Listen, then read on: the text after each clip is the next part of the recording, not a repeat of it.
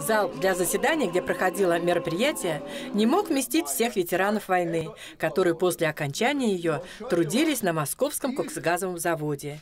Пришли некоторые из них. Всех пришедших приветствовал директор Москокса Сергей Билан.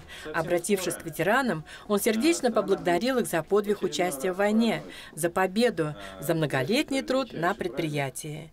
Станислав Ходаковский прошел всю войну. После победы еще пять лет нес военную службу. Нас не демобилизовывали, несмотря на ранения, понимаешь. Мне, я осколок с собой таскал еще, так так. Вот. Э, я только демобилизовался в 50 году, в октябре месяце. И сразу на завод. Вот здесь около 40 лет отработал на заводе. Владимир Дегтярев на заводе 49 -го года. Приехав сюда в командировку, 19-летним юношей остался здесь на всю жизнь. Он фронтовик, имеет много наград. Есть среди них и самая дорогая. Медаль партизана Отечественной войны первой степени. Этой медалью э, награждены ну, такие молодые, что ли, партизаны, всего по Советскому Союзу 80 человек. 38 лет отработал в коксовом цехе и Михаил Доля. Войну еще подростком воевал в истребительном батальоне.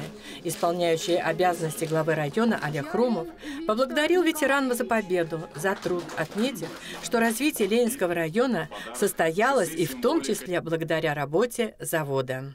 Вашими руками после Великой Отечественной войны восстанавливался весь потенциал, промышленный потенциал нашего района. Вы строили, отстраивали этот замечательный город, в котором мы сегодня с вами живем.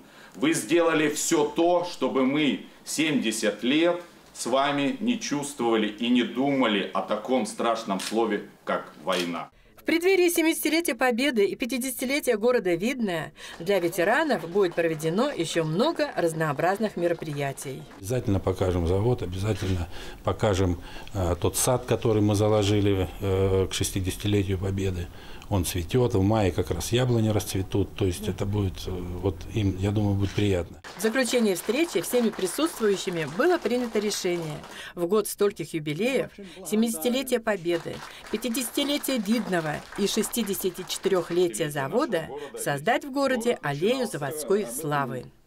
Людмила Медведева, Алексей Иванов, Елена Кошлева, Видное ТВ.